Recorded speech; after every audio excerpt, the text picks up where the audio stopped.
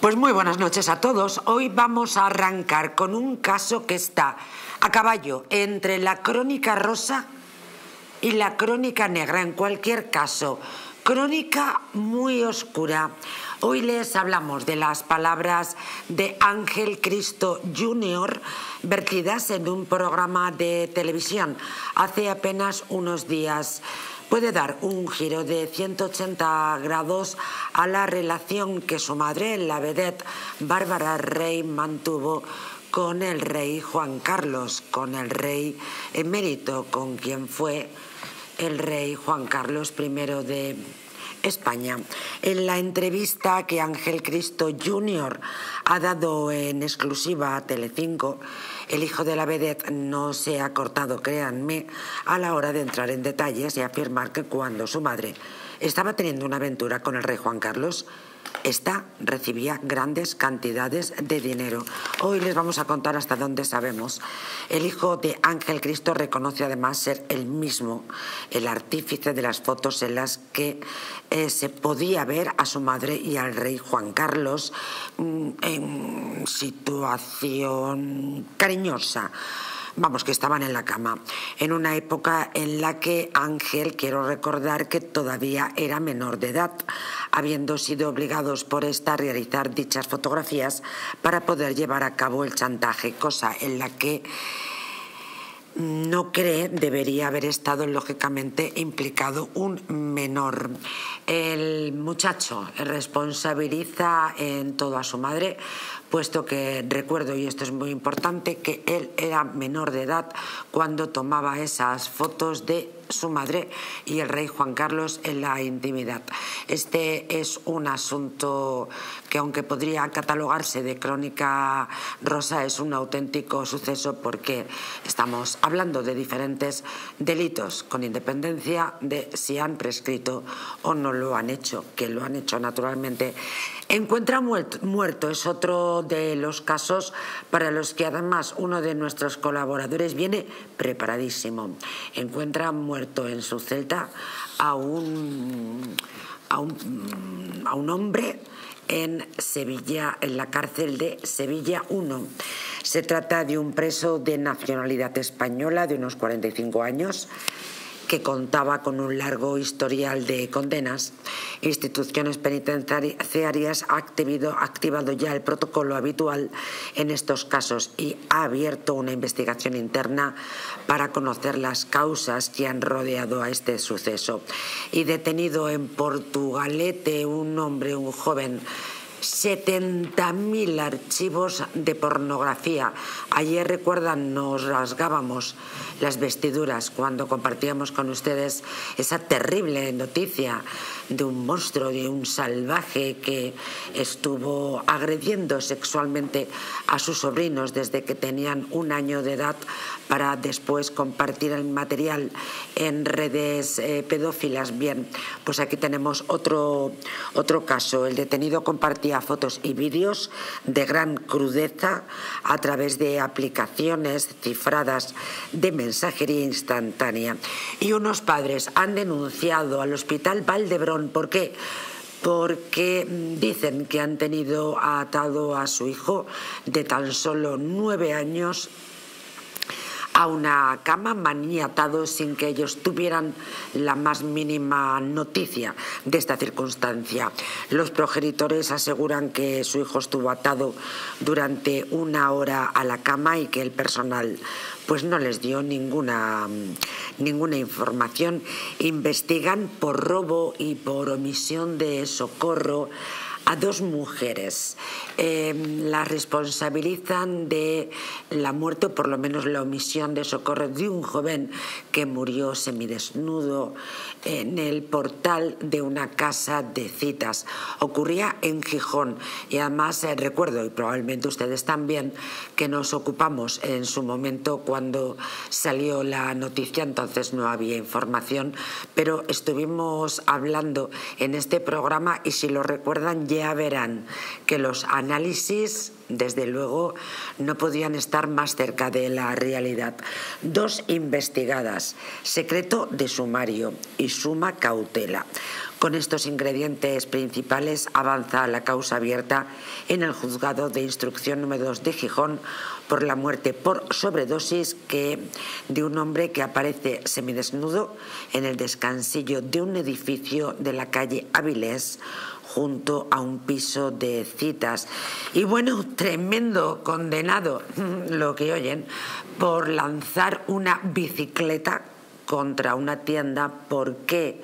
Pues porque eh, no le habían aceptado la devolución de unos mm, auriculares, curioso. Esta misma mañana a mí me ha pasado con unos pantalones, pero me he dado la vuelta y me he ido.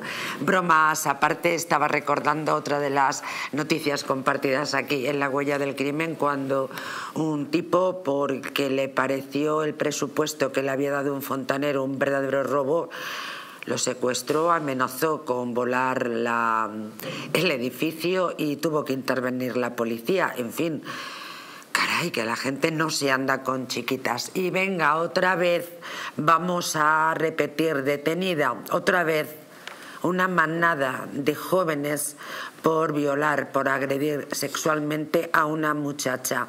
Son marroquíes. Recordamos que los detenidos de entre 16 y 24 años tenían antecedentes policiales y que tres de ellos se encontraban en situación irregular en España. De los cinco, dos han ingresado en prisión y otro menor de edad en un centro de régimen cerrado. Suma y sigue. Como pueden ver, esto es un no parar. Bienvenidos, esto es La huella del crimen.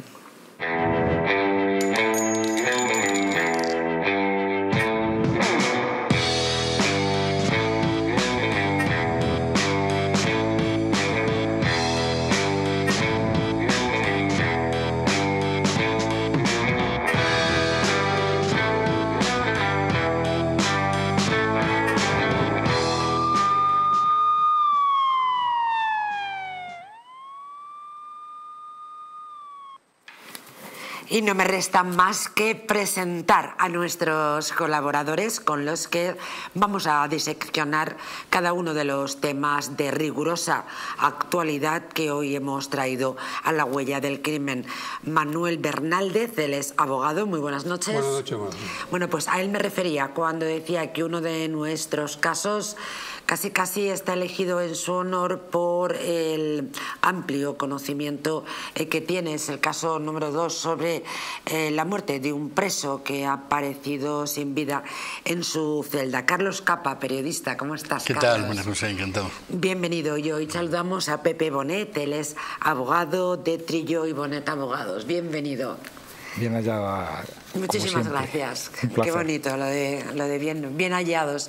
Es verdad que muchas veces decimos bienvenidos y en realidad es bien hallados, ¿no? Porque les hallamos nosotros a los telespectadores al otro lado de, de la televisión, de cualquier dispositivo móvil. Bueno, señores, pues eh, comentaban nuestros telespectadores que este primer tema anda a caballo entre la crónica rosa y la crónica negra. En cualquier caso, Carlos, me dirijo a ti como periodista porque además has manejado desde hace tiempo esta noticia. Bueno, en cualquier caso es crónica francamente oscura, porque que se hable con esta mm, transparencia ya de un dinero que, que, a fin de cuentas hemos terminado pagando nosotros a cuenta de las infidelidades del rey de España y unas fotografías que hace un niño menor de edad de su madre y el rey de España en situación, no sé, ya me entienden, ¿no? Pues eh, sí, la verdad es que eh, ya no sabemos en qué saltar. Creo que hemos pasado eh, de, unos años, muchos años, ¿no? En la que todo era opaco, oscuro, inexistente, en lo que se refería a la Casa Real y, al monarca, al rey Juan Carlos en ese momento. Hemos pasado de eso a todo lo contrario. Ahora, dentro de poco sabremos hasta qué marca de, de calzoncillos usaba y si los compraba en el corte inglés o en otros grandes almacenes. Hombre, Carlos, eso no, eso no tiene la enjundia como el color de los calzoncillos de un rey. La verdad es que importa poco, pero desde luego que salgan 600 millones de pesetas mm, de fondos reservados para pagar a una vedette con la que tenía una FER Oiga, mm, no, no, no, por esto supuesto. me preocupa más. ¿eh? Lo que quería decir no, es que no fuera, no es que el, caso María José, por supuesto, no, tenga la importancia. Digo que hemos pasado de, no saber nada, ahora parece que, que, saberlo todo, ¿no? Lo decía como, como, como, previa mm. de, de, estas, de estas informaciones. Hiperinformación, ¿no? Quizá estamos en la hiperinformación. Y a veces también la hiperinformación conduce a la desinformación, porque al final ya no sabes qué, qué hacer realmente. Bueno, esto es un caso, creo que ya conocido incluso desde aquellos tiempos de, de, oscuridad. En aquel momento era el rumor, ahora, bueno, parece que ya todo el mundo habla con mucha más eh, transparencia. Y bueno, también hay una cosa cierta, todos podemos creer que hay una cierta, eh, unos indicios bastante eh, notables, pero bueno, lo, cierto es que en el nivel penal, eh, en el nivel de la justicia, pues nunca se ha llegado a demostrar estas cosas. Terrible lo de que un menor se le obligue o se le use o se le utilice para, para supongo, eh, eh, eh, buscar una protección o no sabemos si, si una intención de, de chantaje. Y si, si, realmente es cierto que en la casa de Bárbara Rey pues se acumulaban no sabemos si como en las casas de otros en bolsas de basura negras o, o, en sobres de sobre esto no tenemos sobre esto no tenemos detalles, Carlos. pero La, verdad, la verdad es que todo empieza a ser en fin bueno, pues, pues yo creo que un poco eh, vergonzoso, ¿no? Desde la parte del derecho, la parte legal, no solamente, la verdad es que esto ha trascendido, ¿no? A la, crónica rosa, a la, a la prensa del corazón, para incluso parece ser que hay apuntes transcritos, en fin, que este dinero se termina pagando con con fondos, reservados, Pero es que yo creo que esto ya ha salido publicado. Eh, para mí no es novedoso. Hay un libro, eh, El jefe de los espías, Esto es. que son los archivos del jefe del CSI de la época, Emilio Manglano, en que viene contado con pelo y señales, además entrecomillado que el rey llama al jefe de los... La llamaban la parienta ella. La llamaba al jefe de los espías y le dice, oye, me ha dicho que le quieren comprar una foto mía que tiene y entonces van a verlo. Incluso el jefe de los espías le dice a otro, no le vamos a contar al rey lo que le hemos pagado para que no se asuste. O sea, que evidente que estaban pagando con fondos que tenía CESID, ¿no? Eh, y salen las cantidades que le pagan y tal. 600 millones parece. Bueno, en el, libro hablan de 25 millones en, un caso concreto, ¿no? Pero bueno, la cantidad que fuese. Se ¿eh? hacen diferentes, parece eh, ser, y, siempre no según la crónica rosa, sino esos apuntes en este libro publicado, pues hablaba hasta 600 euros que naturalmente se pagan a lo largo de 10 años. Veces, varias veces. incluso los contratos que tiene con televisión española, etcétera, etcétera, que lo consiguen a través de la mediación de... Y, coinciden los apuntes que hay, efectivamente. Lo, que este pone de relieve es, eh, no sé cómo describirlo, ¿no? La falta de lealtad, podemos decir, personal, amorosa, no sé cómo describirla, de la, de la persona involucrada con su supuesto amante, ¿no? Porque en el fondo era todo un negocio puramente de chantaje, de coacción y de extorsión monetaria. ¿no? si, no me das dinero, alguien me quiere comprar las fotos, tú me dirás qué hacemos. E, e, eso está transcrito literalmente en el libro. Me Corina esto. Claro, qué eh, mala suerte. Es que te iba a decir, es que te iba a decir que iba de Málaga a Malagón. Pasó de una a, otra, o sea, es que es increíble. ¿eh? Qué terrible, sí, vaya ojo que tenía el emérito. Querido Pepe. La verdad es que, es que sin estar en desacuerdo en absoluto con lo que habéis manifestado, eh, es cierto que eh, intentamos ahora, de un tiempo a esta parte, y sobre todo por una, una parte de la sociedad bastante señalada, eh, hacer lo malo, todo lo malo, dirigido hacia una persona que es el rey emérito. en lugar de preocuparse también también, porque no digo que no tenga culpa o no tenga o no sea importante el hecho de que del erario público se hayan pagado unas cantidades que no pretendían otra cosa más que pagar un chantaje. Como el compañero ha señalado, el chantaje es eh, algo que queda evidente en esa cuestión. Es decir, yo te hago unas fotografías, fotografías precisamente ilegales, ilegales porque el propio artículo 18 de la Constitución española establece... Esto es lo que a mí me interesa, más allá del dimes y diretes sobre que, por qué eh, se está poniendo la palestra a, quien fue Juan Carlos I de España, ¿no? Pero qué interesante ya ese dato que estás dando. Eh, esa ilegalidad que hace lo hace referencia más a un artículo del Código Penal. El, artículo el artículo 18 del Código de la Constitución Española establece el derecho al honor que a todos nos asiste. Y después el, Código Penal, en el artículo 208 y 209, también lo señala y lo gradúa. Es decir, eh, ¿qué queremos decir con esto? ¿Que a todo el mundo se le puede hacer una fotografía? Sí, a todo el mundo. Y más en el caso de que sean personajes públicos. Pero en lugares públicos. Lo que no se pueden es eh, meter en casa de cualquiera de nosotros y hacernos fotografías del modo que fuere si no cuentan con nuestra autorización. Pero Pepe, tú lo has dicho, era un chantaje, o sea, me parece súper interesante lo que dices, porque naturalmente cuando se tomaron esas fotos, que además lo hicieron menor de edad, pues ya me parece una cosa bárbara, vamos. Mira, qué afortunada he estado, bromas aparte. Em, claro, mm, pero aunque fuera una ilegalidad, ¿qué importa si representaba un chantaje al Estado, al jefe del Estado? Efectivamente, efectivamente. Además, has dicho una cosa, una cosa curiosa en esa cuestión. Necesitaban de un cooperador necesario. Cooperador necesario que era el hijo de la ínclita eh, señora Rey. Es decir, eh, este niño le utilizaban supuestamente eh, para tomar las fotografías. Incluso, si me permites, Pepe, por, por, por, dar algún dato más, por, mm, poner un poco de humanidad en todo esto, el muchacho incluso llega a decir que él tenía muchísimo cuidado porque lo hacía con, con una cámara reflex, que bueno, que la verdad es que ya no se utilizan, todo el mundo ya hacemos foto con, con el móvil, ¿no? Y dice para que no se escuchara, porque ustedes recordarán, ¿verdad?, que las cámaras reflex hacía... El ruido, sí.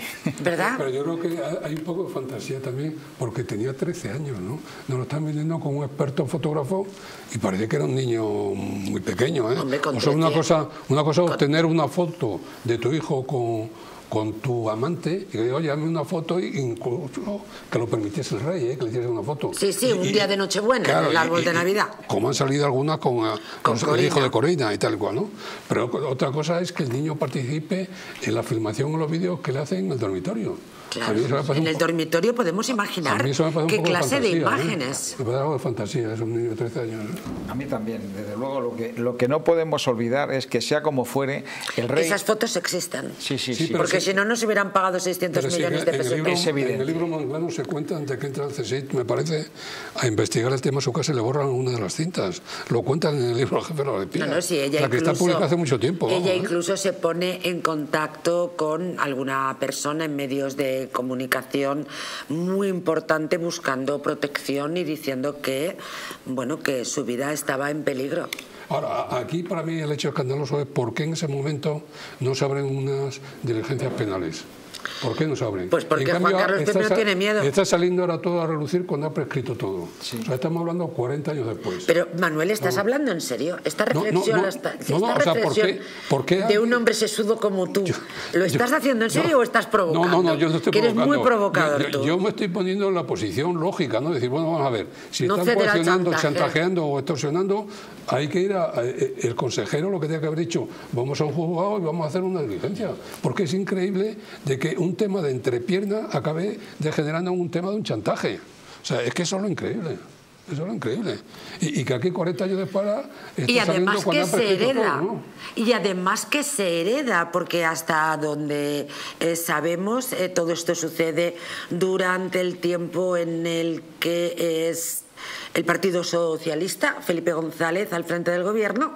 Ustedes recordarán que posteriormente, en 1996, creo que en la primavera de 1996, gana las elecciones el Partido Popular y, asciende eh, a, la presidencia a andar a quien le tienen que contar, si ustedes me permiten la expresión, el marrón en el que está metido el gobierno. Pero la relación parece ser que viene de los años 70, por lo que cuentan, que cuando empieza Bárbara Rey, eh, dentro de la UCD tiene un cierto nombre, y, está con los Garrigues, y está con Suárez y tal y cual. O sea, estamos hablando de una relación, eh, podemos decir, virtudes públicas, vicios privados, perfecto.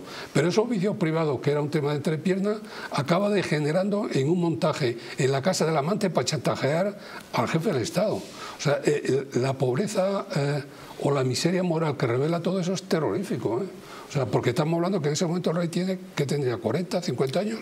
40 mm, años. Eh, ¿De qué estábamos hablando? Eh, estamos haciendo ya la, supuesta actora, está haciendo, autora, perdón, está ya haciendo un montaje para chantajearlo de futuro. Es que es increíble, ¿eh? La, carga moral hay dos que, partes. revela todo eso. Al parecer hay una, hay una primera parte, hay una relación inicial antes del matrimonio con Ángel Cristo de ella y después se retoma la relación posteriormente cuando se separa o se divorcia después de muy mala vida, como bien saben ustedes, de Ángel Cristo. Eh, entiendo, esto es una conclusión mía, no me hagan ningún caso. Eh, no, no, es una conclusión mía, pero es una conclusión real. Las fotografías, el chantaje tiene que ver con la segunda parte de la relación. Pero que son 10 años lo que estamos hablando, a lo mejor, mm. un periodo de 10 años. En un periodo de 10 años se deteriora tanto la relación que la, que la amante está pensando en cómo montarle unas eh, eh, film eh, íntimos, unos vídeos, para luego. Mira, fue en los años 80, habría terminado, estaba buscando información para contestar a Manuel Bernaldez. Em, según se ha relatado con todo lujo de detalles, habría terminado cuando ella contrajo matrimonio con Ángel Cristo, concretamente en el año 1980. 80 al parecer fue en ese instante cuando esta aventura terminó. La pareja dejó de verse, aunque según la vedette sí que siguieron hablando por teléfono en alguna ocasión y sin duda uno de los affairs más polémicos, comentados y criticados de la historia es eh, cuando mm, posteriormente pues efectivamente eh, se inició eh, nuevamente la, relación. Y ahí es donde aparece, se entiende el chantaje, porque si el niño menor de edad hace las fotografías para chantajear al rey, eh, naturalmente es después del matrimonio, puesto que anterior al matrimonio con Ángel Cristo no, había tenido al niño. Luego entonces, vamos, en esto la verdad fácil que hay, entenderlo. Hay muchos elementos que son muy sórdido, muy sórdido. Muy sórdido. Eh, yo, yo, no, yo no creo, como decía, que sea un asunto de, deterioro de la relación, que probablemente se dirá también. Tiene, tiene todo el aspecto de ser un, negocio. Tiene todo, tiene todo el aspecto de ser un negocio, ¿no? Es decir, llegado a un punto, es decir, de aquí podré sacar un rendimiento, porque ya sé que tocando el botón adecuado eh, me viene dinero. Entonces, yo creo que, que ya la cosa va, iba en esa dirección. Pero la dama de las, camelias, la... dama de las camelias no era la relación. No, es no, evidente. Bueno, ¿eh? no, no. y, hay que reconocer que mucho ojo para, para las mujeres tampoco tenía el rey emérito. ¿no? Eloísa está debajo de un almendro tampoco. Bueno, tampoco. Haber, citado una cosa, una cosa muy curiosa y es esto ocurre cuando en el gobierno de Felipe González. Entendemos ahora. Sí, claro, por supuesto que sí venía de atrás. Pero ¿entendéis ahora por qué razón eh, las relaciones entre la Casa Real y presidencia del gobierno se deterioran cuando entra NAR? ¿Por qué él prefería? Andar en, el libro también se trata parte del marrón, ¿eh? Sí, claro que sí. no tiene más remedio. Claro, es que, no tiene más remedio. Claro, claro, Es que se lo encuentra, se lo encuentra servido. Se lo encuentra. además es que se lo cuentan. Eh, se relata además en este Pero además no olvidemos que estamos hablando de una, de una fecha que el 82 es el golpe el 23 de febrero, ¿eh? O sea, estamos hablando del 80, el 82, estamos a dos años del golpe del 23 de febrero. O sea, en un momento en que España, las convulsiones que había, de atentado de ETA, la, la situación militar incómoda, que había pasado el tema de Suárez, la caída, ya Calvo, Calvo Sotelo. Y resulta que la amante del rey o la cortesana le estaba montando un tinglado para chantajear al rey. No, Bueno, es que probablemente ese sea- es un esperpento. probablemente es de sea ¿eh? posterior. Es la corte de los milagros. La corte de los milagros. Probablemente fuera posterior, al menos estas fotografías a las cuales se hace referencia no tuvieron lugar, al parecer, dentro de ese momento convulso de España. Efectivamente, recordamos la caída de Suárez, eh, recordamos la llegada de Calvo Sotelo, el, el día de la investidura, el día del golpe de Estado. No, eh, estamos hablando que aunque sí que es verdad que el rey emérito, bueno, el rey Juan Carlos I en ese momento, sí tenía esta relación con la vedette, la vedette no estaba chantajeando, es posteriormente, no tiene lugar en ese... No, no, no estoy de acuerdo porque se habla que una de las cintas hay una conversación Pues razón. que el rey está hablando No de lo que va a pasar. Eso ha salido publicado. Una de las cintas del chantaje es que el rey le está hablando de algo de lo que va a pasar y es una, de- es una de las cintas que ha salido publicado.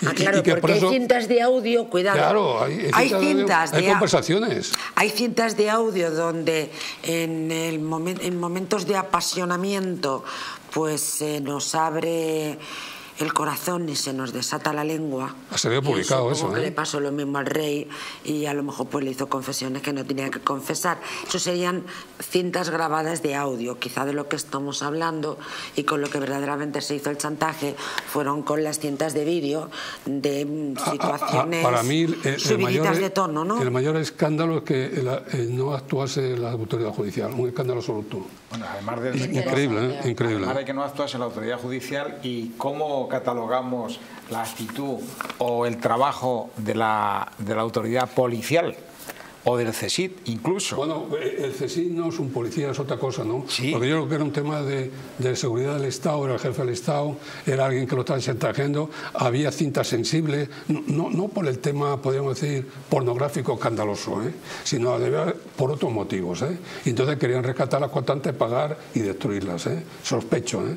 Entonces, bueno, puede tener una justificación y por eso el CSI actúa y, y además los archivos están guardados y, y lo que hace el periodista, creo que del ABC, publicar el libro, es consultar los archivos y además lo entre comillas. Eh, O sea, Estos el- vídeos el- tienen que existir, ¿no, señores? lo, lo habrán destruido Eso- o eso lo tendrá creo el yo. CSI, no lo sé. Eso es evidente, que tiene que existir, destruido, desde luego, eh, o destruido O los habrán borrado. o borrado o guardados en aquellos sitios eh, muy sensibles. Pero desde luego lo que es evidente es que mal trabajaba la policía, en No, ese caso, yo- porque la policía lo mínimo es... policía no se entera, ¿eh? Pero ¿cómo no se va a No, enterar? el rey, el rey al que llama en el libro es el jefe del CSIT. Le dice, mira, tengo aquí conmigo, y le dice quién está con él, que era el, el padre del presidente de Telecinco, el Manuel Prado, donde salen ahora todas las declaraciones. Manuel Que era- Prado y Colón de Claro, que era su administrador. Sí, pero- Y- y- Cualquier persona, cualquier persona que haya tenido un cargo público eh, a determinado nivel, hemos llevado siempre policías, escoltas, siempre Bueno, es pegados a evidente, nosotros. Es evidente que el rey tenía que tener un Claro. allí a su lado. No, y la y que- seguridad del rey Es la evidente. seguridad de- de- la policía lo tenía que saber, evidentemente. de la Claro. Real, no- La no- policía es, evi- es evidente. claro. Pero esa policía, eso cualquiera os conocéis un poco el protocolo de seguridad de la Casa Real, no tiene nada que ver con la seguridad, ni siquiera la del propio gobierno. Funciona, o funcionaba al menos en una burbuja eh, en la que era el rey, el único eh, director, ¿no? digamos, del asunto y gente de su máxima confianza. En todo caso, recordemos son los años 80, la democracia es joven, en fin, pasaban esas cosas y probablemente pues proteger la figura del rey era algo, eh, era una cuestión de Estado, ¿no? Más allá de que su comportamiento fuera eh, más o menos eh, moralmente correcto, no ¿no? cuestionable. ¿no? Pues vamos a seguir con este asunto, no hoy, porque tenemos otros muchos eh, casos, otros muchos sucesos de los que ocuparnos, pero no tengan la más mínima duda de que retomaremos este caso, entre otras cosas, porque pueden llegar a salir a la luz esas imágenes, señores. Es decir, que se pagó un rescate, se pagó un rescate, se pagó un chantaje, lo normal es que no existieran, pero además de pagar, se quedaron con las copias. ¿O no? Bueno, nos vamos a ir a publicidad, pero permítanme que les dé un muy buen consejo. Después de todo esto, de pronto alguien se toma una copita de más. Hay que beber, pero con mucha prudencia, ¿eh? Pero a veces sucede. Y de pronto una noche con amigos, una noche pues con familiares, con compañeros de trabajo, con la pareja, pues una noche de, fiesta con la familia, pues de pronto se termina cansado y con alguna copilla de más.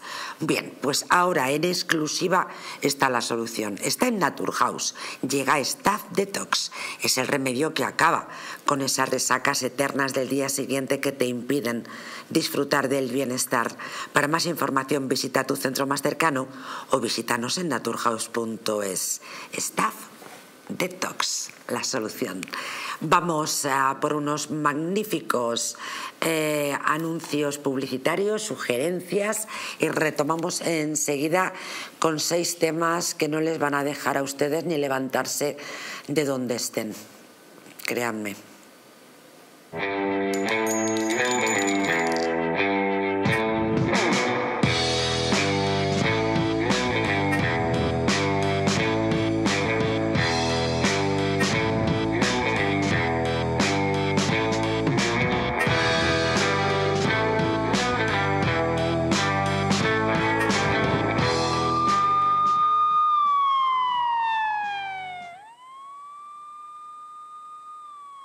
los cajones de su cocina llenos de cuchillos, pero ninguno de ellos corta como debería? Es el momento de dejar de aplastar la comida en vez de cortarla.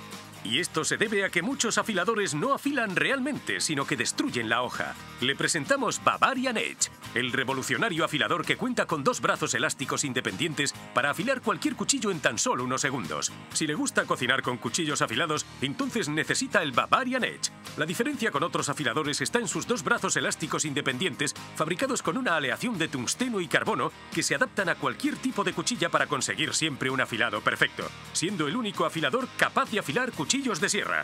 Hemos destrozado este cuchillo intentando cortar este bloque de hormigón, pero solo son necesarias unas pasadas entre los brazos elásticos de Bavarian Edge y volverá a estar tan afilado que podrá cortar un zapato sin ningún problema. Sus cuchillos volverán a cortar, a hacer filetes, picar, trocear y hacer dados con la misma facilidad que lo hacían el día que los estrenó. Este filete congelado está tan duro como una piedra, por lo que con un cuchillo para untar mantequilla no podemos cortarlo. Pero solo necesitamos unas pasadas por Bavarian Edge y estará tan afilado que podrá cortar este filete como un cuchillo caliente entra por la mantequilla. Bavarian Edge lo afila todo. Hemos cogido la tarjeta de crédito y hemos intentado cortar el tomate, una misión imposible. A continuación pasamos unas cuantas veces la tarjeta por nuestro Bavarian Edge. Ahora está tan afilada como una cuchilla, por eso corta fácilmente. La diferencia con otros afiladores está en sus dos brazos elásticos independientes, fabricados con una aleación de tungsteno y carbono que se adaptan a cualquier tipo de cuchilla para conseguir siempre un afilado perfecto, siendo el único afilador capaz de afilar cuchillos de sierra. Otros afiladores de cuchillos podrán costarle más de 100 euros, pero si llaman ahora, Bavarian Edge puede ser suyo por el magnífico precio que aparece en pantalla. Además, si llama en los próximos 5 minutos, podrá conseguir su segundo Bavarian Edge a mitad de precio. Pero dense prisa porque esto no es todo. Las primeras 300 personas en hacer su pedido no tendrán que pagar los gastos de envío. No pierda más tiempo y llame ya. ¿Una noche larga de fiesta con los amigos? Has terminado cansado y con una copa de más. Ahora en exclusiva en Naturhaus, Staff Detox. El remedio que acaba con esas resacas eternas del día siguiente. Acércate a tu tienda más cercana o visita naturhaus.es. ¿Quieres proteger tu sistema inmunitario de la gripe, COVID y otras enfermedades? Inmunad Z es un complemento elaborado con zinc y base de vitaminas C1, B6 y D3 que permiten aumentar las defensas y mejorar las respuestas del sistema inmunitario. Además, posee antioxidantes que reducen el envejecimiento y mejoran el estado de ánimo. Con Inmunad Z, las defensas al poder. Acércate a tu tienda más cercana o visita la web naturhaus.es. Hotel Las Dunas, un lugar mágico en el corazón de la Costa del Sol. En primera línea de mar, situado en un oasis de armonía, tranquilidad, enfocado en la salud y bienestar de nuestros huéspedes. Desconecta del estrés y la monotonía del día a día. Estancias con programas exclusivos y personalizados de salud, rejuvenecimiento y control del peso. Elegancia y bienestar junto al mar sin renunciar a la actividad y la vida saludable. Descubre las Dunas Hotel Health and Spa, el más exclusivo de toda la Costa del Sol.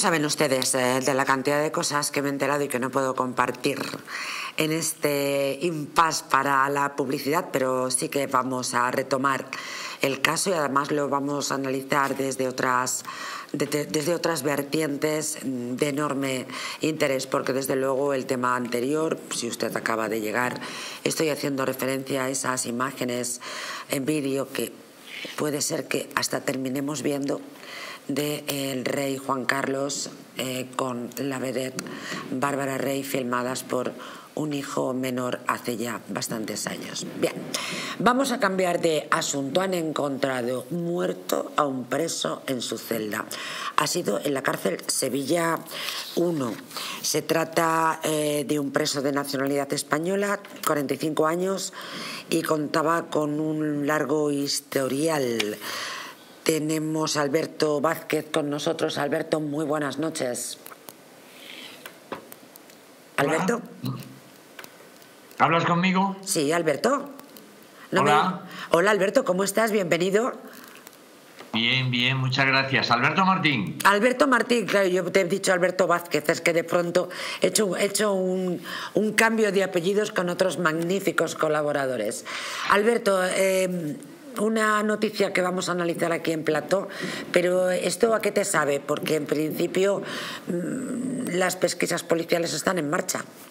Sí, la verdad es que, mira, no hay datos. Nosotros, como penalistas, hemos tenido ya varios casos similares, aparentemente similares. Entonces, lo primero que hay que ver en estos casos eh, aparte del protocolo y aparte de la investigación y todo esto, es cuáles son las causas aparentes, ¿vale?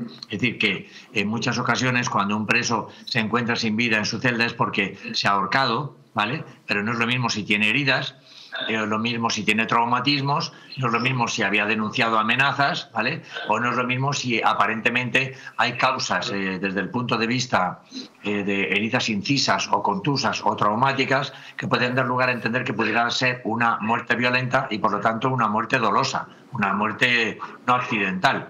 Eh, por lo visto, en este caso, simplemente dicen que no respondía a estímulos.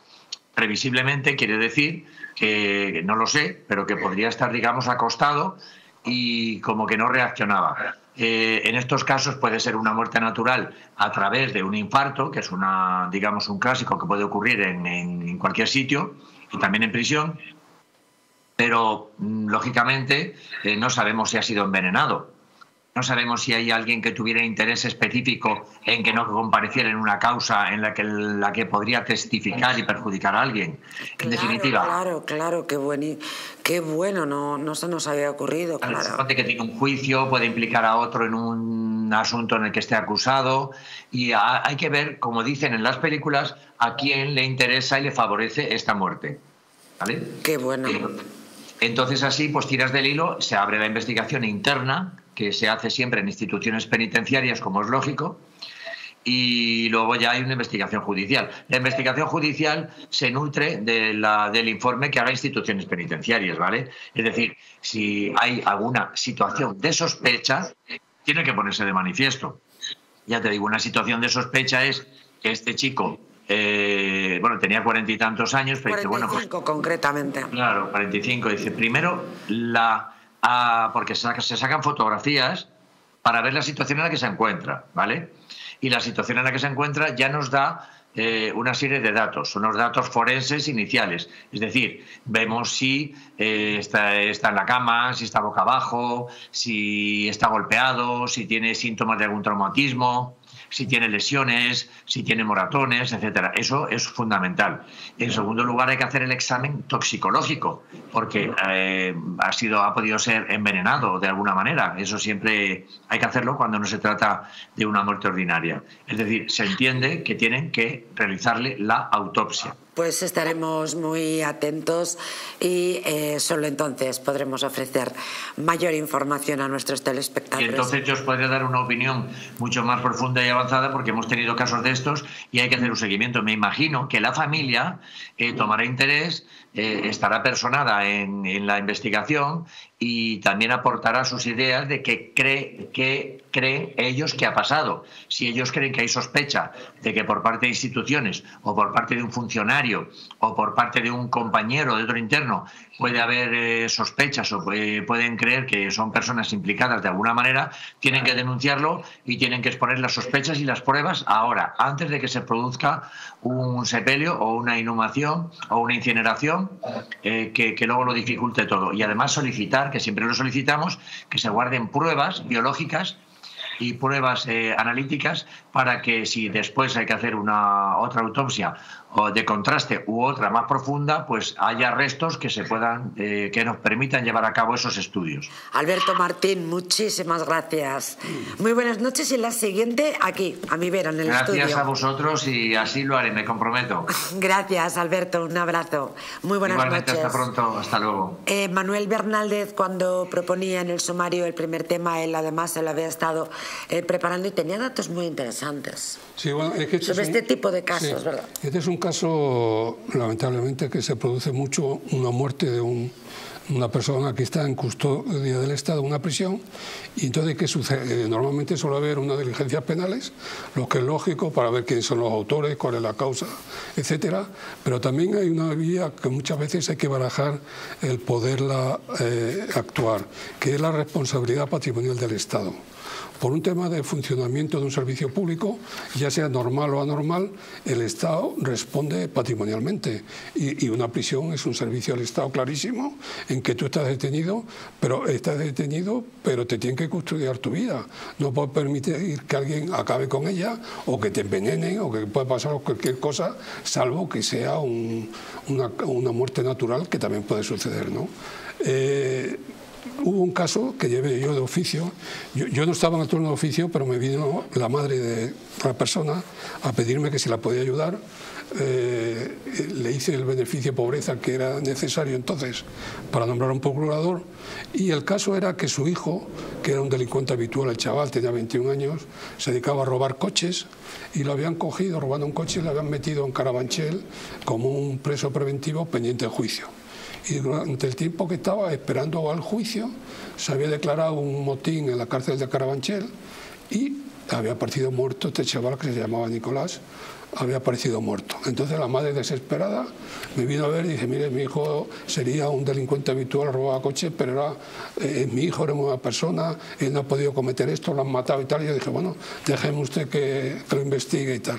Y me personé en la diligencia penal en lo primero y allí aparecía un informe de la Dirección General en ese momento de prisiones que había pedido a, a la prisión de Carabanchel y aquello era espeluznante. ¿eh? Por aquellos años había una película muy famosa, El Expreso de Medianoche, Sí, del año tremendo, 78, tremendo, tremendo. que era de las cárceles de Turquía, de una persona que trafica en droga y todo lo que le pasa. ¿no? Y yo cuando me iba leyendo el informe de la Dirección de Prisiones de lo que pasaba en la cárcel de Carabanchel, que estaba dentro de Madrid, la ciudad en la que yo estaba, ¿eh? y pensaba en lo que había visto en la película de El Expreso de Medianoche, yo pensé, digo, los de Hollywood se han quedado cortos. ¿eh? Carabanchel era un auténtico caos. Había mafias internas de colombianos y de españoles, no había el número de funcionarios suficiente, los servicios se los repartían entre las dos mafias que había allí, de nacionales y de colombianos, y el que no tragaba con esa mafia y pagaba, pues había palizas, había de todo. Y en la tensión que había, pues se produjo un motín, y este chaval que estaba allí y que pasaba por medio, pues lo mataron. ¿eh? La redada que hace la policía, Red de la Muerte, aparecen, yo lo leí todo eso en el informe, aparecen 70 objetos punzantes, los hacían con las, con las tuberías del váter, las cortaban. es increíble lo que aparece allí en, ese, en, ese, en ese... Pepe apuntaba algo. Con las cucharas. Con, las, cucharas, también. lo que aparece allí, creo que recordar que eran 69 o 70 objetos punzantes. Entonces yo dije, ¿qué hago yo en el tema penal? Van a condenar aquí una riña tumultuaria a dos colombianos de esto y yo esta mujer, ¿cómo la compenso, la indemnizo?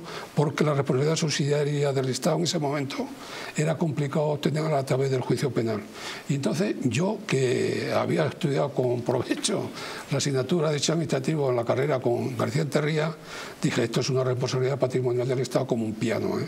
Y me fui a por el Ministerio de Justicia. Y así fue. Presenté una, por vía administrativa, no me contestaron, como es evidente, ¿no?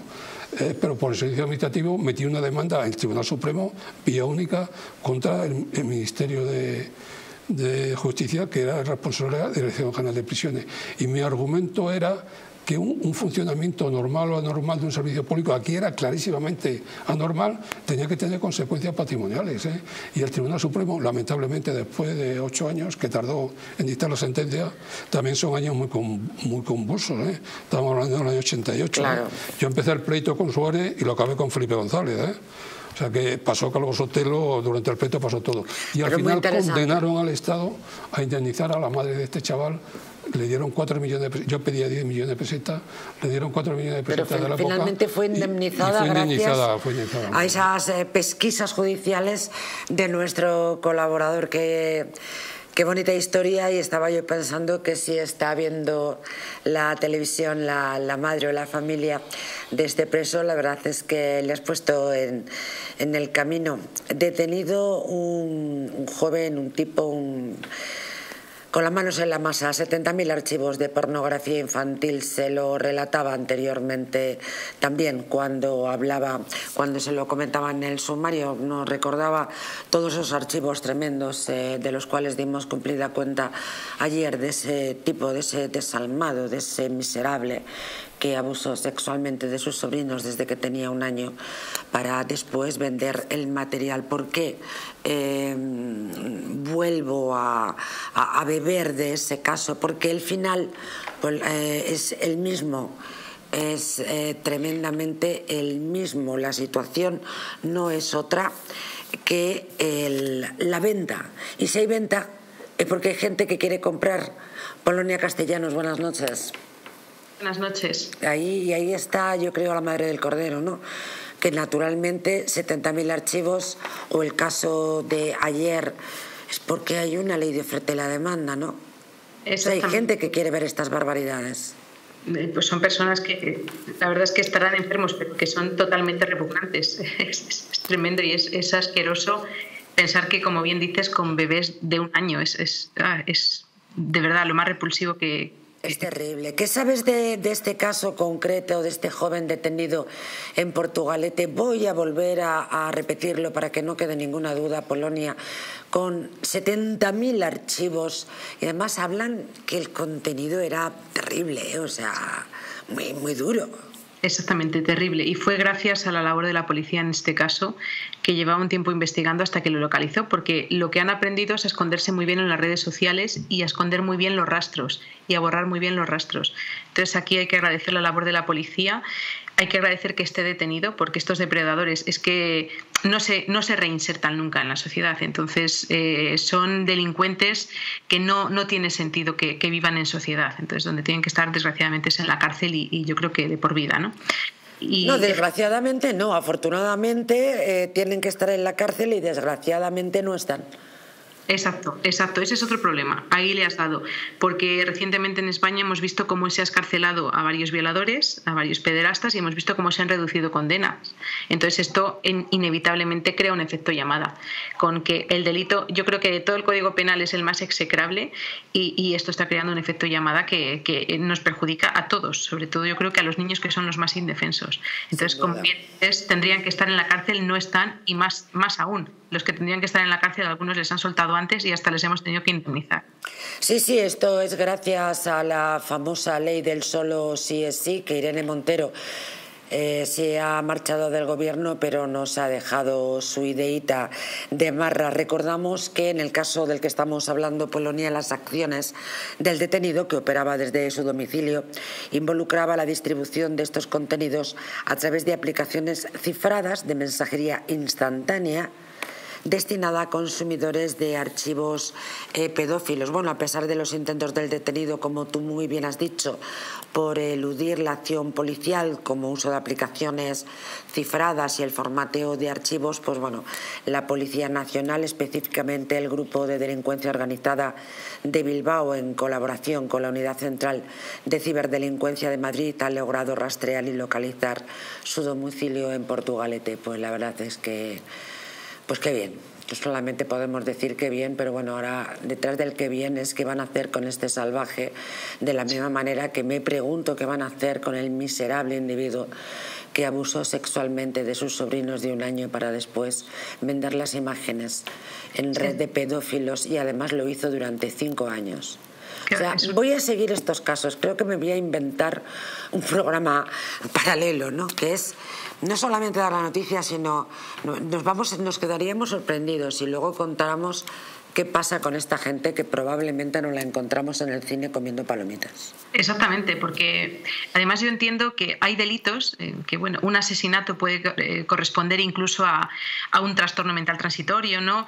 Eh, pero este tipo de delitos no, no corresponde a ningún arrebato, nada, no, no tiene justificación posible, no tiene exención posible. Entonces, como tú bien dices, es gente que tiene que estar en la cárcel, que hay que seguirles la pista porque jamás se reinsertan en la sociedad no solo a él, al encargado de acaparar estas 70 eh, estos 70.000 ficheros, sino a todos aquellos que consuman de alguna manera estos contenidos, que también deberían estar en la cárcel. La oferta y la demanda, Polonia, es que ahí está la madre del cordero. Justamente empezábamos por ahí. Si no hubiera desalmados que quisieran comprar este contenido, pues no habría miserables que trabajaran para ofrecerlo. Ley de oferta y la demanda, nauseabundo. Polonia Castellanos, como siempre, muchas gracias. Muy buenas noches. Un abrazo. Gracias, muchas gracias. Como abogados, como periodistas.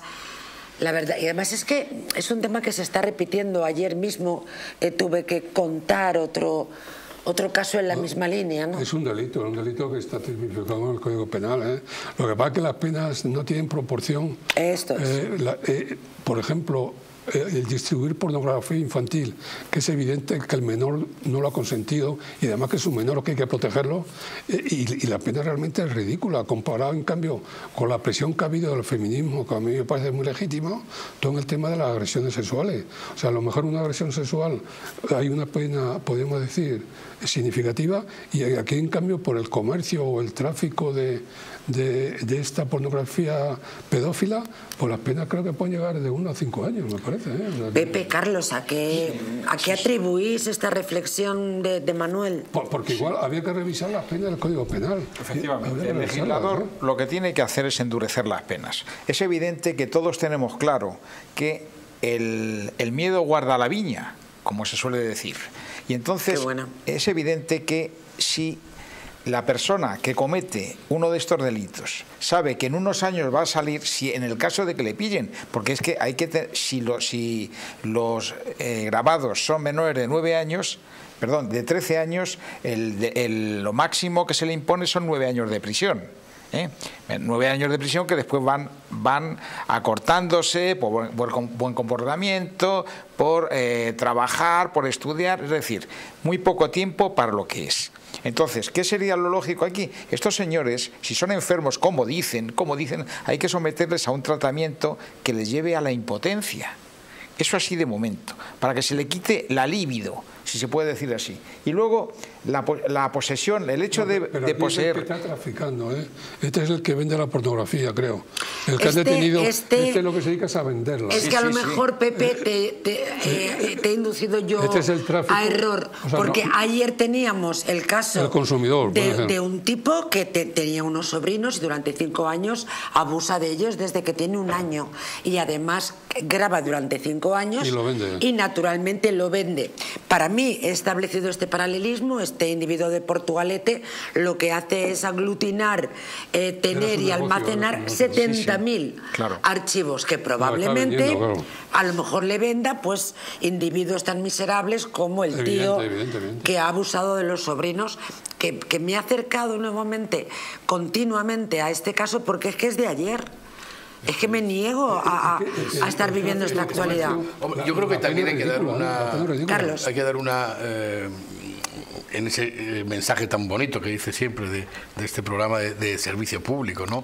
Eh, la Brigada de Delitos Informáticos de la Policía es una de las mejores del mundo. La gente se cree que detrás de, de una pantalla de ordenador, de un móvil, está impune porque nadie le ve, o sea, es el sitio donde más visible se es. Y la verdad que tenemos unos cuerpos de seguridad especializados y unas unidades especializadas. Por eso, seguro que entre nuestros telespectadores no hay ningún pedófilo, estoy convencido, ni ningún pederasta. Pero, pero bueno, dejado el mensaje. No, no, no lo hagan porque les van a pillar. Y hay otra cosa, esa es la sanción penal. Pero bueno, en fin, la vida en la cárcel no es muy agradable para este tipo de delincuentes. Tenemos abogados y el problema no es la policía, que es muy eficaz. El problema, como en otros casos, es cuando eh, llegan al juez y cuando la justicia es la que tiene la última palabra. La policía hace una magnífica labor. El problema es cuando se dan con la puerta a las narices. ¿no? Y el juez hace también su labor, bien hecha pero lo que ocurre es que el juez puede sancionar aplicando el derecho, aplicando la ley. Es el legislador el que no entra en esa cuestión y por imagen o porque le interesa en razones eh, bastante espurias. Eh, claro, es que, pero es que hay que, hay que aplicarlo. Estábamos hablando hace un momento de la ley del sí lo que ha supuesto esa ley. Pues seguramente la señora, señora Irene Montero está fuera del gobierno no me jugaría nada para imaginar o pensar que en las próximas elecciones al Parlamento Europeo la señora Irene Montero va a ir en lista. Es decir, no la van a dejar en la calle. No, no, no, no, no, no, no, no. A pesar de lo que ha hecho, no. La van a seguir argumentando y dándole razones para que siga enganchada al mamandurrio. Y entonces esta señora, que la gente se debería haber querellado contra ella, por hacer ese disparate, que estaba avisada por los técnicos. Por muchos sectores, además. Y le dio igual. Muchas voces. Le dio igual. es que lo peor es que eh, la ministra de Igualdad, que ha tomado la cartera, que bueno, ya sabéis, la pataleta de, la pobre Irene Montero, esa niña malcriada que le quitaban su juguete favorito, ¿verdad? Simbólicamente la cartera del Ministerio de Igualdad. Bueno, pues traspasaba la, la cartera a una ministra que tiene la cara dura o la soberana estupidez, porque no sé cómo denominarlo. Eh, mm, diciendo que efectivamente era una gran ley. Oiga, errar es humano, perseverar es diabólico. Es una vergüenza. Pero, pero, es curioso que... O sea, si una tonta ¿Qué hacemos con la otra? O sea, pero María José, bendito sea Dios. Nosotros estamos pagando para esto. Ha, habido delitos que han estado en el objetivo de los políticos, como por ejemplo por el tema del impulso feminista, todo otro tema de la agresión, de la violación, etcétera. Pero en cambio hay otros delitos a lo mejor más sofisticados o también peligrosísimos, como puede ser el tráfico de la pornografía infantil a través de las redes y tal y cual, que ese está ahí en el Código Penal y que la vía también que tener ese impulso político para modificarlo y endurecerlo. Pues hay muchos delitos que no tiene la, Montero de turno, no sé cómo explicarlo. ¿eh? Pues a ver si tenemos suerte, aunque la verdad es que creo que esta es una guerra bastante perdida. Pero bueno, arriba los corazones. Eh, Colacel Antiox para todas aquellas personas que quieren mantenerse joven el mayor tiempo posible y que además quieren estar sanas. Porque las arrugas superficiales, amigos, la flacidez o el descolgamiento de la piel ya lo saben, ¿verdad? Son síntomas evidentes del envejecimiento, un proceso que a partir de los 40 años se acelera al reducirse la producción de colágeno por parte de nuestro organismo. Colacel Antiox de Mundo Natural es un complemento alimenticio que aporta colágeno hidrolizado puro de alta absorción y también antioxidantes, además de vitamina C, una vitamina esencial que contribuye a la formación de proteínas de relleno de la piel, como son el colágeno, la elastina, la tropoelastina o el ácido hialurónico. Gracias a su completa composición, fíjense, un sobre al día de Colacel Antiox produce el mismo efecto que tres envases de otros productos similares. Confía en Colacel Antiox mucho más que colágeno de venta en tiendas especializadas en el 914 46 000 y en parafarmaciasmundonatural.es. Un alto en el camino, buenas recomendaciones. Iniciamos el tramo final de La huella del crimen, que no saben lo que nos queda todavía. Más indignación, ya verán.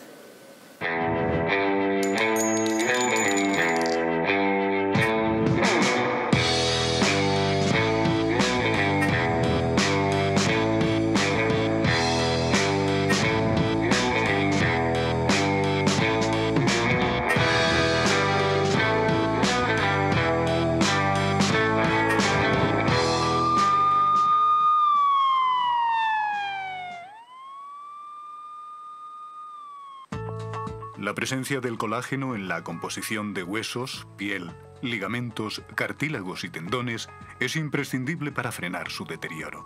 Sin embargo, a medida que envejecemos, su producción se reduce. Colacel Antiox de Mundo Natural combina en una misma toma colágeno hidrolizado puro, antioxidantes, ácido hialurónico y vitamina C que contribuye a la formación normal de colágeno. Haz del tiempo tu gran aliado, Colacel Antiox. ¿Una noche larga de fiesta con los amigos? Has terminado cansado y con una copa de más. Ahora en exclusiva en Naturhaus, Staff Detox. El remedio que acaba con esas resacas eternas del día siguiente. Acércate a tu tienda más cercana o visita naturhaus.es. Naturhaus es el mejor método para perder peso de forma saludable y sin pasar hambre. Desde la primera visita, una asesora te enseñará a cambiar tus hábitos hasta alcanzar tu peso perfecto. Lo conseguirás gracias a complementos alimenticios a base de extractos naturales y platos deliciosos. Apúntate ya en tu centro Naturhaus más cercano y online a través de naturhaus.es.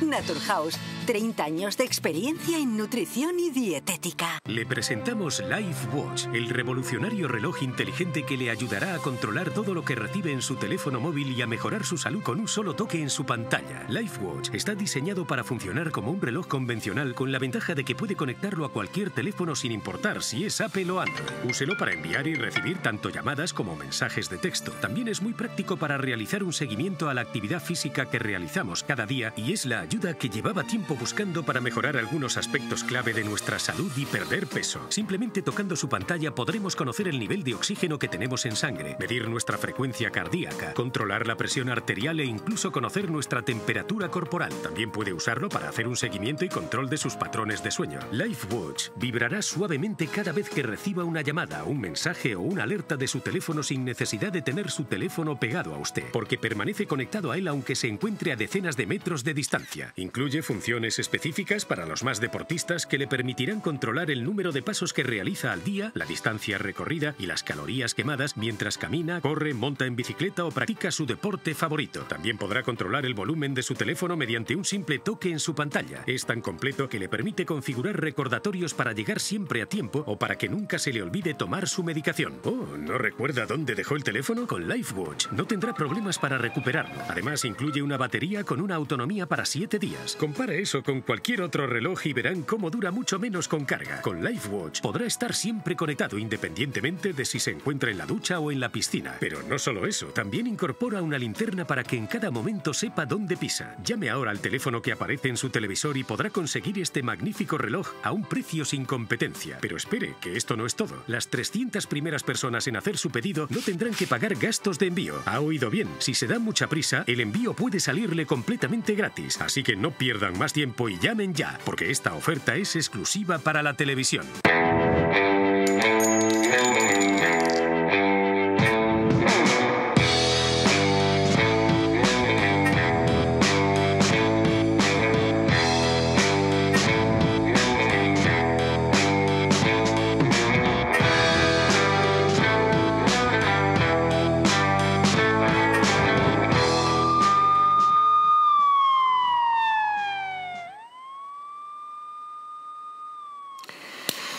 Pues se lo contaba al inicio del programa, unos padres han denunciado al hospital Valdebrón. ¿Por qué? Eh, pues porque al parecer han tenido atado a su hijo durante más de hora y media, su hijo de nueve años.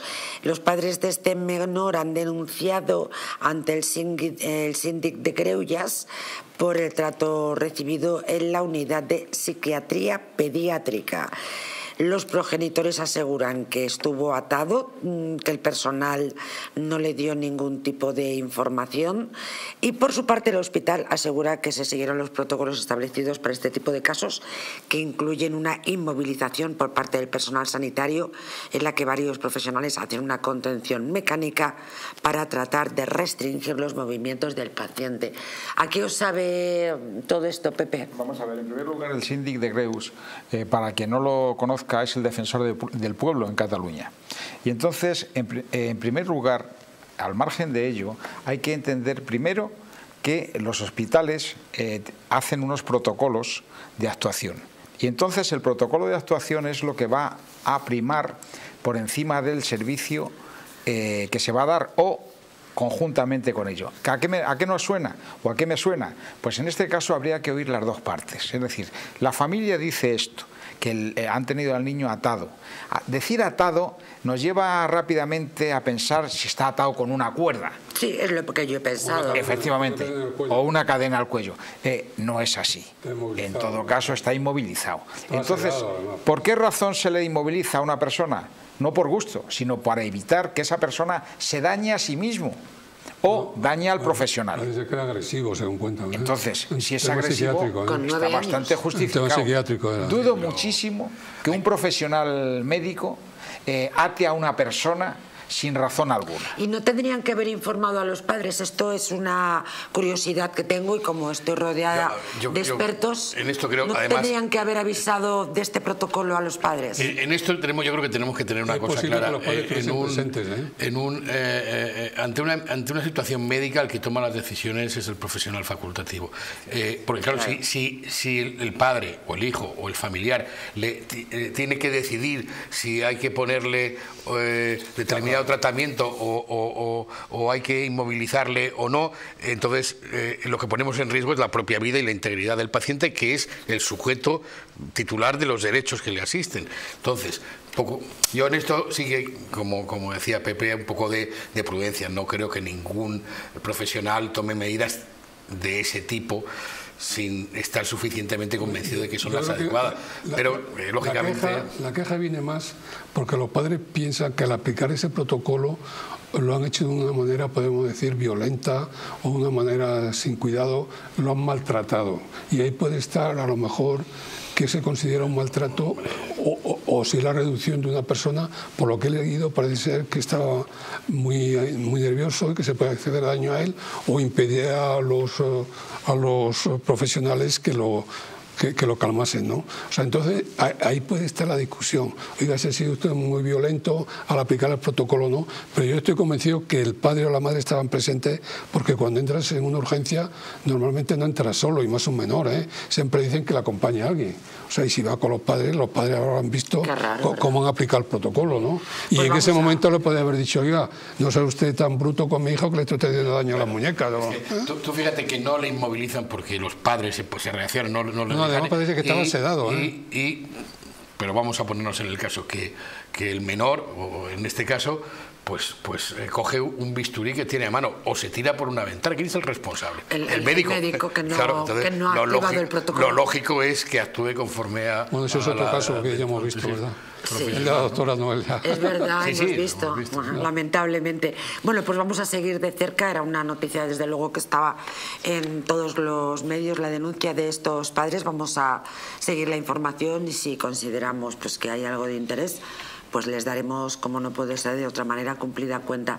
Vamos con otro caso que nada más suceder sucedió en Gijón y probablemente muchos de ustedes lo recordarán. Nosotros ya le contamos este caso. Se trata de un muchacho que aparece muerto en un eh, en, un, en un portal, en el portal donde hay una casa de citas, ¿de acuerdo? El, portal de la casa y la casa de citas pues tiene el primero, el segundo, en el tercer piso, ¿de acuerdo?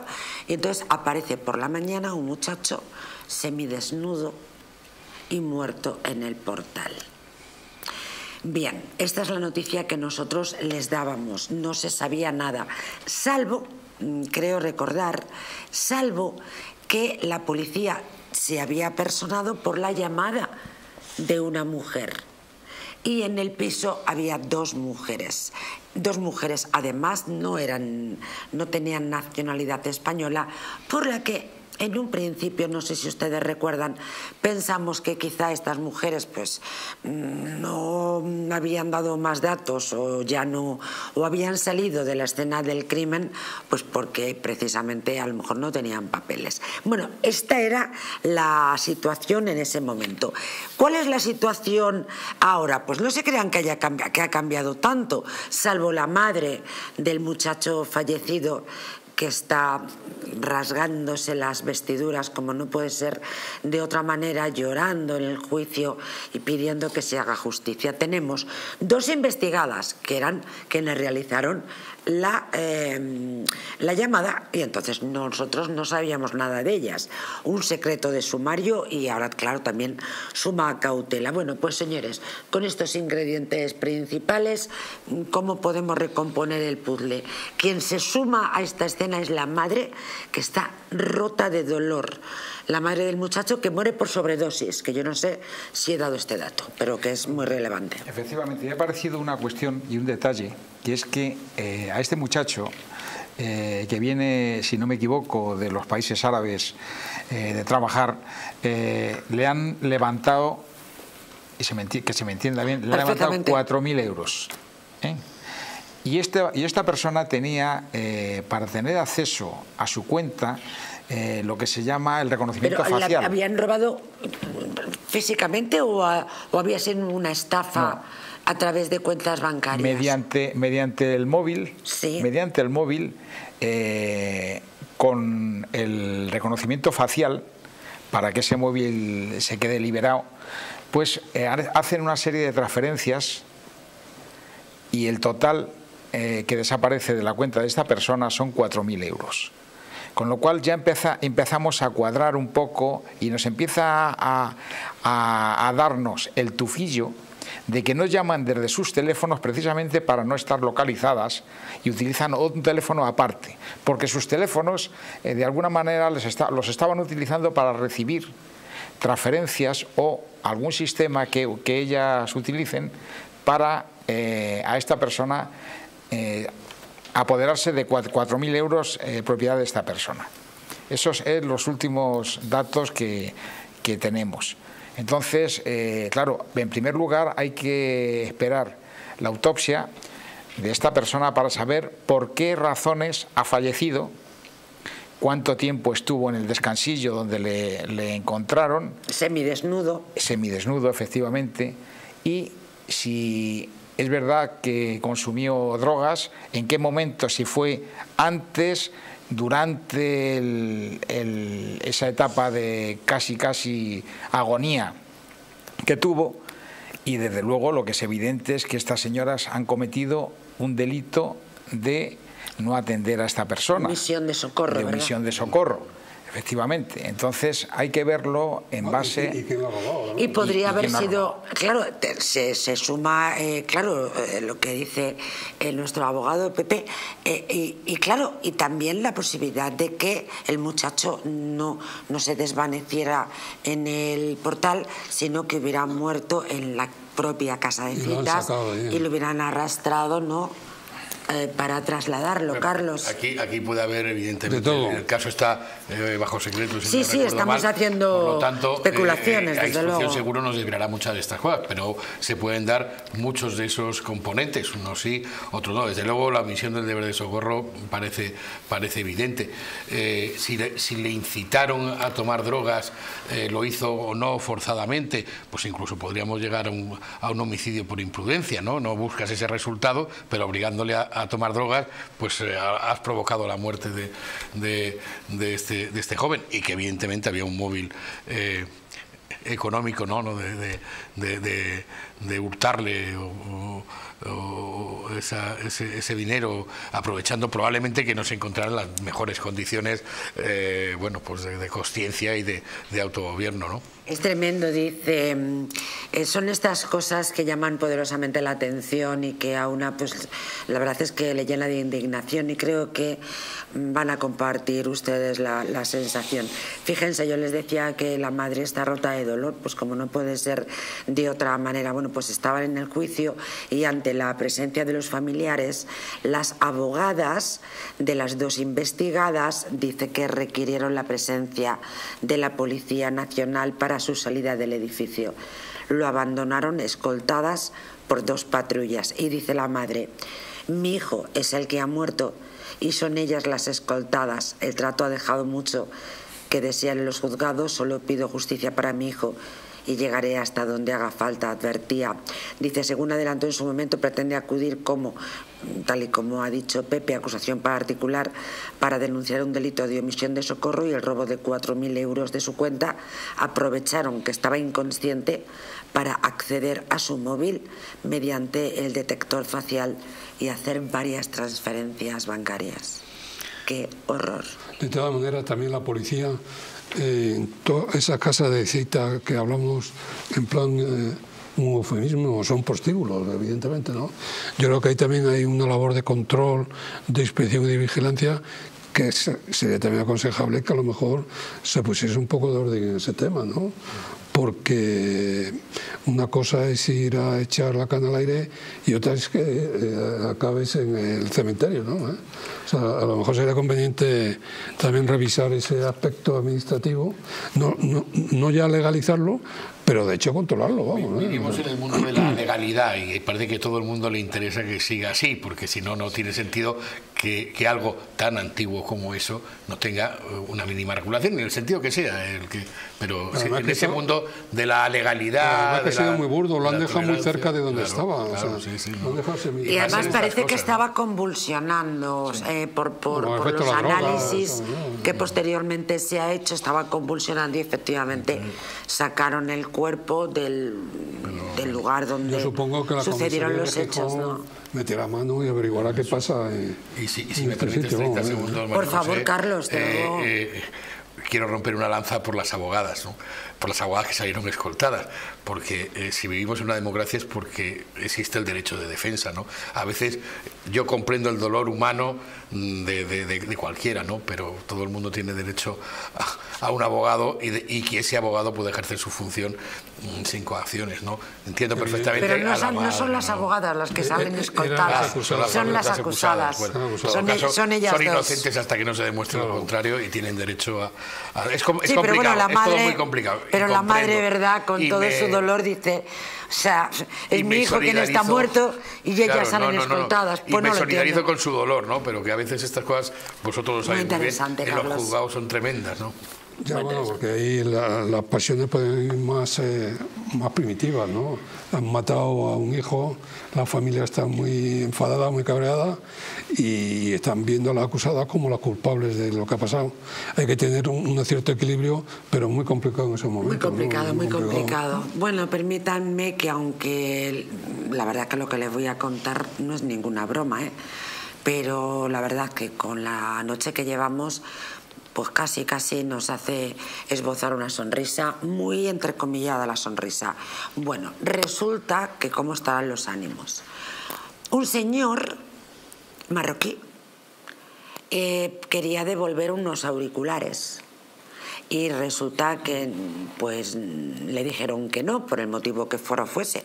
Yo he ido a hacerlo con unos pantalones y me han dicho que no había perdido el ticket y que no me lo podían cambiar por ninguna otra cosa. Pero el señor, a diferencia de lo que yo he hecho, que ha sido coger mi bolsita y marcharme tranquilamente de la tienda, bueno, pues ante la negativa de que le devolvieran el dinero o se lo cambiaran por cualquier otra cosa de sus auriculares, cogió una bicicleta y la estrelló contra los cristales de la tienda. Bueno, vamos a ver, muy poca broma porque el vehículo acabó fracturando el cristal. Antes de salir del local también arremetió de la misma manera contra una mampara y además acabó provocando lesiones al empleado. Los hechos se remontan a la tarde del pasado eh, del mes de abril. Ha salido eh, todo esto a la luz, pues porque ahora ha tenido lugar el juicio. Eh, será indemnizado por el acusado en 120 euros y el propietario del negocio también recibirá 555 euros por los desperfectos de la cristalera de seguridad. Bueno, afortunadamente le protegía una mampara que se fracturó y los trozos acabaron impactando en el perjudicado que sufrió lesiones, por ello será indemnizado con esos 120 euros. En primer lugar, en primer lugar una recomendación. Si ocurre, les ocurre a ustedes lo mismo que a este señor o lo mismo que le ha ocurrido hoy a María José, eh, yo les indicaría que eh, procuren ir directamente a consumo que tenemos unos servicios de consumo, muy buenos y que denunciar allí, denunciar lo que les ocurre y ellos tomarán cartas en el asunto y seguramente resolverán el problema. En este caso, pues ya saben ustedes, un delito de lesiones que tiene, si hay algún tipo de, daño, eh, aunque no se produzca ningún, no, se necesite eh, ningún tratamiento médico, pues tiene como pena de uno a tres meses de multa que es en este caso lo que se les ha este, aplicado. El, dinero que, lo que, se les ha aplicado. Pero desde luego tengan ustedes en cuenta una cosa. Ustedes pagan, pagan un producto. No están satisfechos con ese producto. La tienda correspondiente no da la cara y no les atiende en condiciones, vayan ustedes a consumo. Y consumo intervendrá. Eso es fundamental, porque el que calla, otorga. Y si nos callamos ante casos como este, lo único que vamos a conseguir es que ese señor siga haciendo lo que le dé la gana y nos ignore cuando actuemos exigiendo algo que previamente ya hemos pagado. Qué tremendo, Carlos, qué periodístico ver. no me lo devuelve, me cojo una bicicleta y lo tiro contra el escaparate. Qué bárbaro. Eh, eh, eh, tira la suya propia, con lo cual Dice, el caso ya es todavía más. Que baja tolerancia a la o Pierde los auriculares, pierde el dinero, rompe su propia bicicleta y acaba pagando una multa.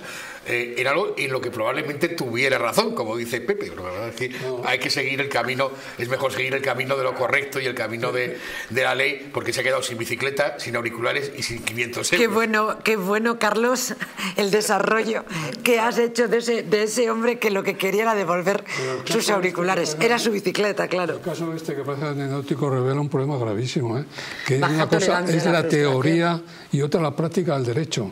Podemos tener una ley de protección del consumidor modélica, un derecho de desistimiento de cuando compras algo y este hombre, según cuenta la noticia, eh, le había comprado el mismo día, no le funcionaba y va a devolverlo.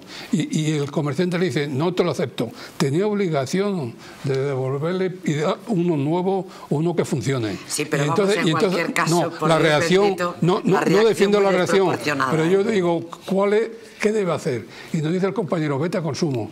las juntas de consumo es un arcano donde están en los ayuntamientos. Casi la tienes que buscar con lupa. Hay poquísimas. Hay y además actúan como juntas arbitrales. Normalmente, si la tienda no acepta lo que le dice, te obliga a tenerte que meter en el pleito y te vas a meter en el pleito por unos auriculares. Yo es que tenía que preparar el programa, no me podía ir a, no me podía ir a ningún lado. Es terrible, es terrible. Señores, vamos con el último. La normativa de consumo hay que reforzarla.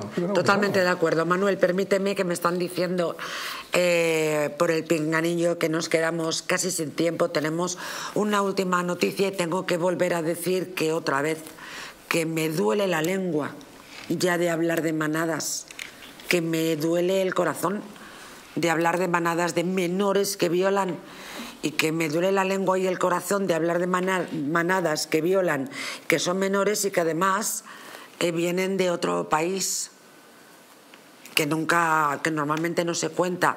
En este caso sí, detenidos en Valencia, otra manada de marroquíes por cuatro agresiones sexuales, robos con violencia y lesiones. Los detenidos entre 16 y 24 años tenían antecedentes policiales. Lo voy a volver a repetir para que no quede duda. Tenían antecedentes policiales y tres de ellos se encontraban en situación irregular en España. De los cinco, dos han ingresado en prisión y otro menor de edad en un centro de régimen cerrado. Edades entre 16 y 24 años.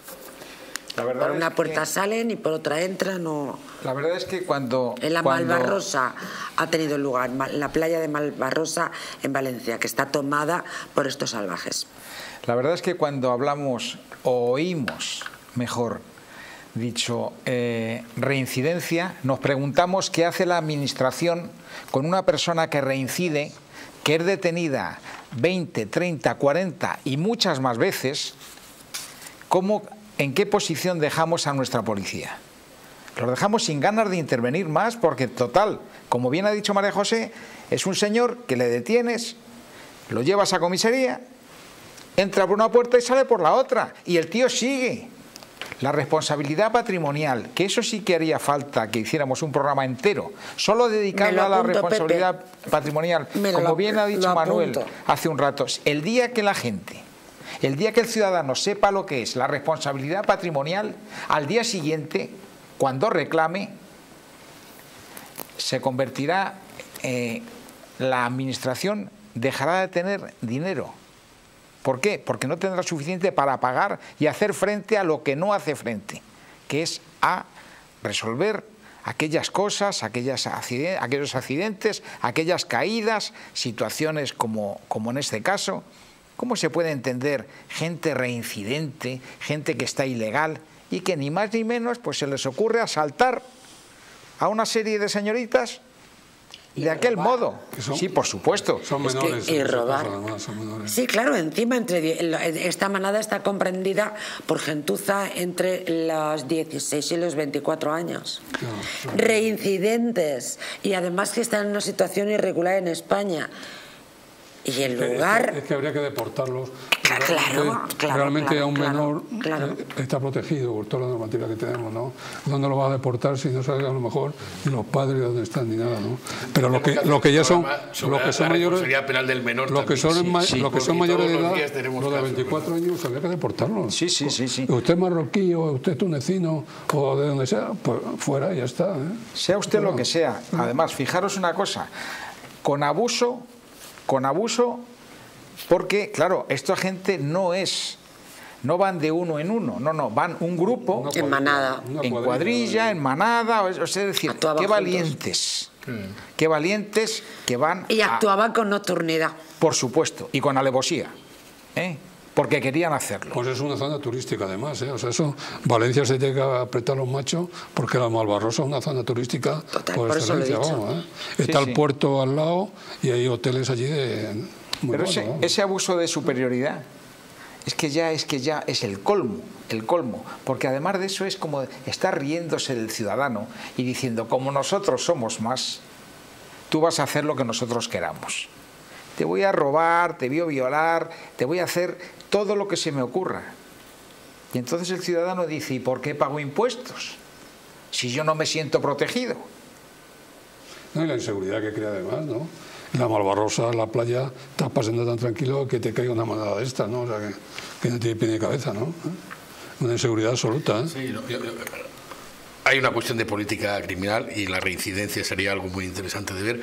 Eh, también la responsabilidad del menor, muchas veces tenemos estas cosas, y quizás también, bueno, pues esa labor del Estado de generar seguridad, que eso se hace pues muchas veces, bueno, pues situando visiblemente la policía que dé seguridad o que, bueno, eh, haga, haga más difícil o, bueno, el miedo guarda la viña, como muy bien decía. Menos policía en Ferraz y más la Malvarrosa.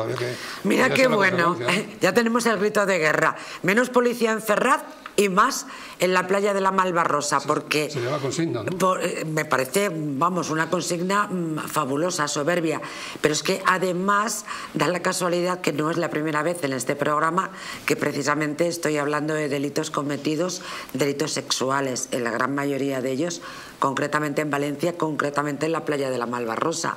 Es decir, que nosotros que tenemos una, gracias a Dios, una nutrida audiencia en la comunidad valenciana, pues mm, sabrán, ¿verdad?, la importancia que, que tiene y que no es la primera vez desde este programa, insisto, que se sitúa la playa de la Malvarrosa como un lugar conflictivo y fundamentalmente con menores, con manadas y con personas extranjeras. En fin, pues hasta aquí hemos llegado, todo hay que decir que me voy con deberes. ¿eh?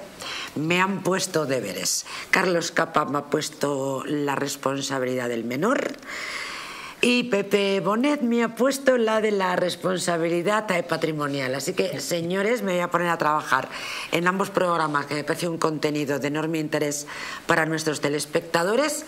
Y tan pronto lo tenga preparado, pues eh, lo transmitiré. Muchísimas gracias, Manuel Bernaldez, como siempre, por estar en este tu programa. Lo mismo, Pepe Bonet, abogado de Trillo y Bonet, abogado, es un enorme placer. Y compañero Carlos Capa, periodista, muchísimas gracias.